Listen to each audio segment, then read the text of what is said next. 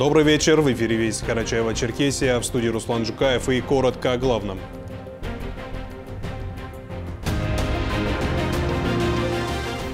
Республиканская столица преображается. Какие работы проведены и что учитывается при реализации национальной программы по благоустройству? Какие дополнительные услуги можно получить по принципу единого окна? В многофункциональном центре Карачаевска побывала съемочная группа «Вестей».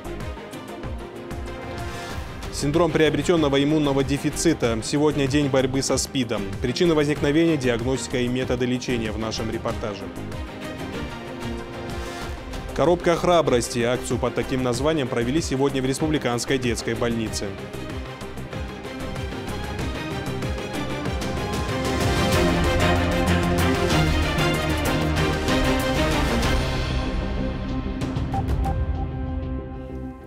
В региональной столице для обеспечения безопасного передвижения по улицам города установлено дополнительное освещение, пешеходное ограждение, заменены несколько светофорных объектов, отремонтированы тротуары. Кроме того, на 28 участках дорог общей протяженностью более 13 километров уложено новое асфальтовое покрытие.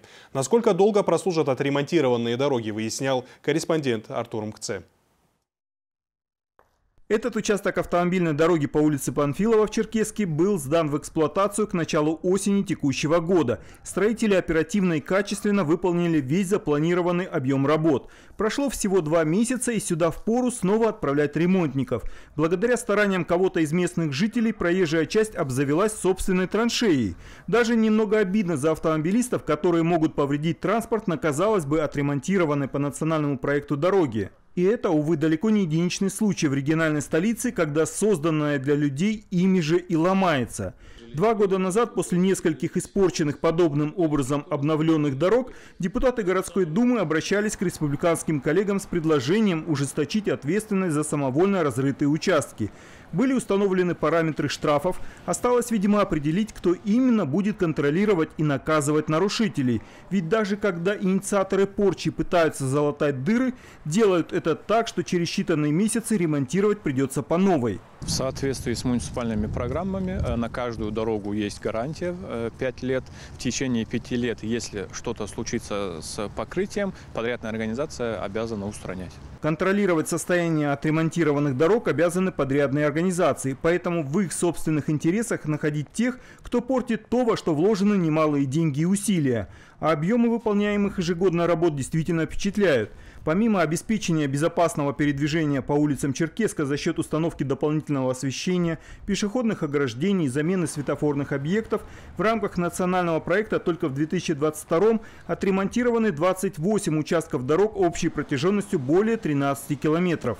Каждый год мы стараемся э, по 13 километров э, выполнять дорог. Это условия и программы, и паспорта э, республики. В текущем году по состоянию на ноябрь месяц все работы уже завершены, остались мелкие недочеты, э, которые подрядчик исправляет. По словам представителя городского управления жилищно-коммунального хозяйства, ежегодно при формировании адресного перечня дорог для реализации национальной программы учитываются пожелания граждан, а также необходимость организации логистики через социально значимые учреждения. Артур Махце, Ислам Урумов, Вести, Карачаево-Черкесия. Создание многофункциональных центров МФЦ получение населением государственных муниципальных услуг стало намного комфортнее. Но в городе Карачаевске пошли намного дальше в решении вопроса упрощения и комфорта при получении услуг э, населением и создании принцип единого окна и для оплаты коммунальных услуг. И все это можно сделать э, все там же, в МФЦ. Мадина Каракетова пообщалась с довольными клиентами. Ирина Шаманова сегодня впервые оплачивает счета по коммунальным услугам в многофункциональном центре в Карачаевске и уже оценила новшества. Мы не знали, нам сказали, вот очень приятно, были удивлены.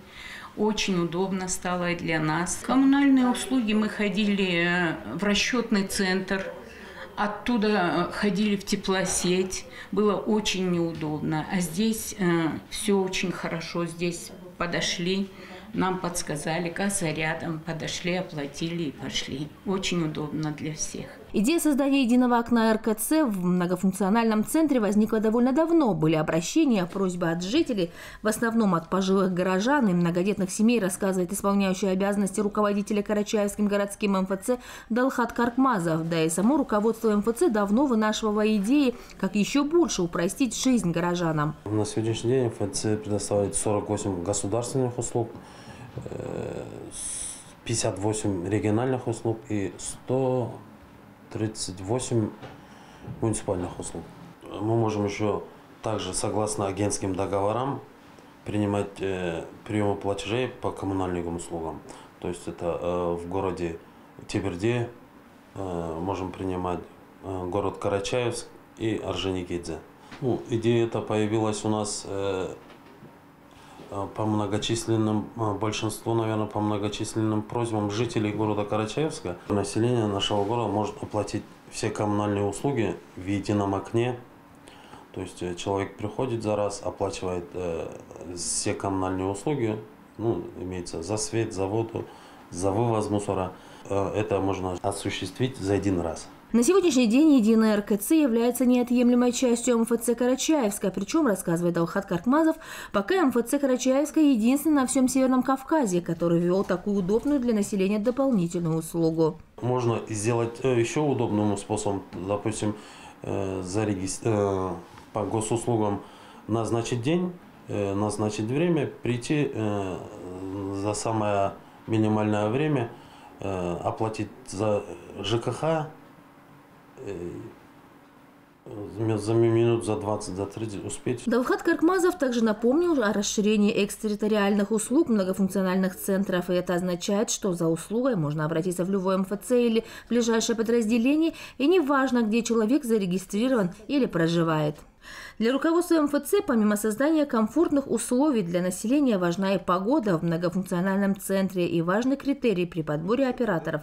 Помимо знания ими должностных обязанностей, вежливость и доброжелательность при общении с клиентами. Люди здесь очень доброжелательные работники, помогают во всем, делают работу очень быстро, хорошо, слаженная работа – очень хорошие, доброжелательные люди. Спасибо им большое всем.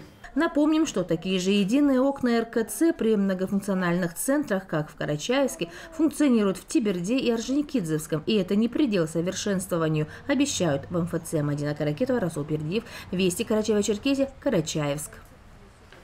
Сейчас время прогноза погоды, а после мы продолжим выпуск. Не переключайтесь.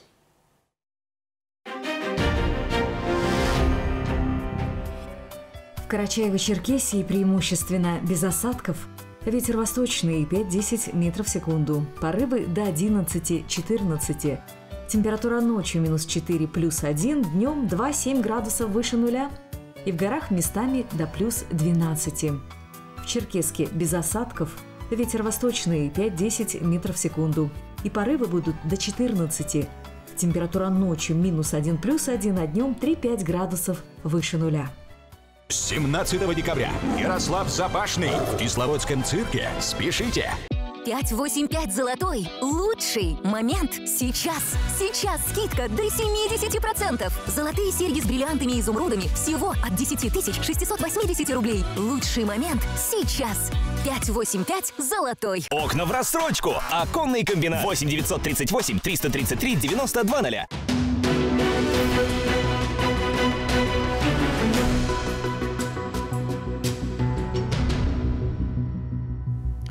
Сегодня во всем мире отмечается Всемирный день борьбы со СПИДом.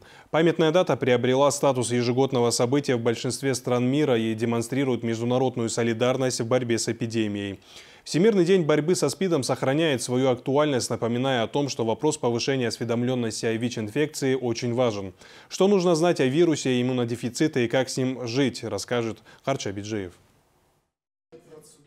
На сегодняшний день ситуацию с ВИЧ-инфицированными в Карачаево-Черкесии можно считать спокойной. На диспансерном учете стоит порядка 872 человека. Больные с иммунодефицитом получают соответствующую помощь, и она абсолютно бесплатная. ВИЧ-инфекция не является смертельным приговором. На самом деле, при правильном и своевременном лечении эта болезнь становится обычным хроническим заболеванием. Смертельным оно становится только в одном случае, когда больной запускает свою болезнь, и она переходит в стадию СПИДа. Многие часто путают ВИЧ и СПИД. В действительности разница очень большая. И состоит она в том, что СПИД – это последняя стадия ВИЧ-инфекции, когда уже происходит снижение иммунитета. В таком случае больному срочно нужно обратиться за помощью к специалистам. Мы делаем все возможное для того, чтобы, в общем-то, как можно больше пациентов с данной инфекцией получали адекватную терапию. Плюс параллельно к этому часть пациентов получает еще и терапию таких сопутствующих заболеваний, как хронический вирусный гепатит С, что тоже немаловажно. Синдром приобретенного иммунодефицита – ВИЧ. Что же мы знаем о нем? За годы распространения этого заболевания вокруг него появилось множество мифов. Вот один из них, который достаточно распространен. Это то, что ВИЧ передается через бытовые принадлежности. В таком случае предметы личной гигиены должны быть покрыты кровью больного. Для того, чтобы заболеть, должна быть свежая кровь. Потому что, э, собственно говоря, вирус иммунодефицита человека, он не такой устойчивый, как, допустим, вирус гепатита Б. Также ВИЧ положительный статус не повод отказываться от желания стать родителем. В настоящее время семейные пары с ВИЧ могут родить здоровых детей. В этом помогает лечебная лекарственная профилактика. Женщина с ВИЧ во время беременности, если принимает высокоэффективную антиретровирусную терапию, строго по назначенной схеме, она позволяет не только защищать еще не родившегося ребенка, но и позволяет сохранить иммунную систему самой матери. С понижением иммунитета возрастает и риск заболевания гепатитом всех видов, а также многих других заболеваний, которые приведут больного к летальному исходу. И потому доктора призывают не откладывать поход к врачу, соответственно и лечение, ведь ВИЧ не приговор. Харча Биджиев, Али Бастанов, Вести Карачаева-Черкесия. И сегодня же в Индустриально-технологическом колледже города Черкеска прошло мероприятие, приуроченное ко Всемирному дню борьбы со СПИДом. Студенты колледжа могли пройти анонимно экспресс-тестирование на выявление болезни иммунодефицита. По словам организаторов, подобная практика позволяет молодым людям узнать результат ВИЧ буквально за 10 минут. В свою очередь, представители Республиканского центра профилактики и борьбы со СПИДом перед проведением теста подробно рассказывали, э, какими путями может передаваться данное вирусное заболевание. И отмечали, отмечают, что очень важно напомнить молодым людям, как себя обезопасить от заражения. Помимо этого, для студентов организовали небольшое представление, посвященное Всемирному дню борьбы со СПИДом. Сегодня мы проводим мероприятие совместно с э, тестированием на ВИЧ. Тестирование проходит в экспресс-форме, то есть в течение 10 минут ребята получат уже результаты анализа. И тесты нам предоставил Карачаево-Черкесский региональное отделение Российского Красного Креста.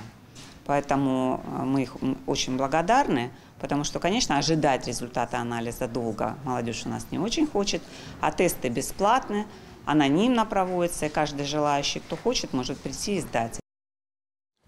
Сегодня представители регионального отделения «Единой России» провели в Республиканской детской больнице акцию «Коробка храбрости». Депутаты парламента Карачаева-Черкесии, учащиеся у Жигутинского городского образовательного учреждения, встретились с медперсоналом и юными пациентами учреждения здравоохранения. Они привезли с собой игрушки как награду детишкам за терпение во время прохождения болезненных процедур. Активное участие в ней приняли учителя и обучающиеся лицея номер один города Ужгуты. Нами собрано 325 подарков для детей, которые находятся в больницах. И наши дети с большим удовольствием приняли участие в этой акции, принесли игрушки, наборы для творчества, канцелярские принадлежности. Единая Россия проводит э, множество акций Э, приурочена к дню рождения партии. Сегодня, 1 декабря, день рождения Единой России, исполняется 21 год. По всей стране начались э, приемы граждан по различным вопросам, начиная с социальных, кончая э, проблемами семей мобилизованных. Эти приемы будут проводить как депутаты регионального уровня, муниципального уровня, так и депутаты Государственной Думы, сенаторы. Это все вести на сегодня. Прямо сейчас смотрите продолжение сериала «Тайны следствия». Всего доброго и до встречи в эфире.